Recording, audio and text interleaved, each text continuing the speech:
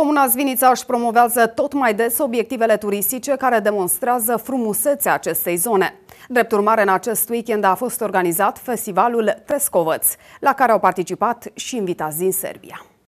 Comuna Zvinița a găzduit în acest sfârșit de săptămână prima ediție a festivalului Trescavăț. Autoritățile și-au propus să atragă cât mai mulți turiști, cărora să le prezinte pe lângă frumusețile zonei și tradițiile, precum și mâncărurile specifice. Pentru a-și impresiona invitații, localnici au gătit chiar în curtea Căminului Cultural din Zvinița. Avem mai multe feluri de pește, somn, șalău, crap, caras,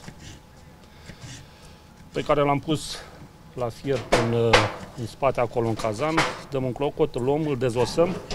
Aici avem uh, legumele tocate, ceapă, ardei gras, verde, roșu. Pentru clisura Dunării este un eveniment foarte important.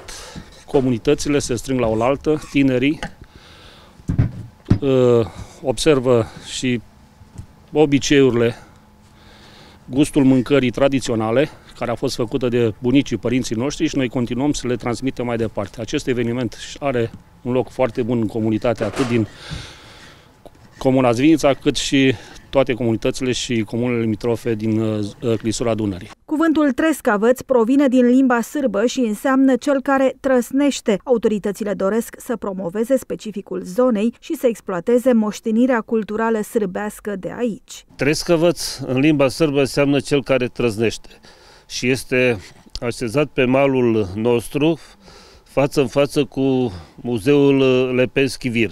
Acolo, la Muzeul Lepenschi Vir, s-a descoperit una dintre cele mai vechi așezări de Europa, din Europa, e vorba de acum 7500-8000 de ani, și vechii locuitori divinizau această stâncă. Probabil îi spereau fenomenele naturii, fulgerele trăsnete, de aia și zice trescăvăț care trăznește. Și ca să îmbuneze această stâncă, acest nec vulcanic înalt de 760 de metri, îi aduceau jerfe, ofrande. De toată mâncarea gătită s-au bucurat toți cei prezenți la festival, fără a se percepe costuri.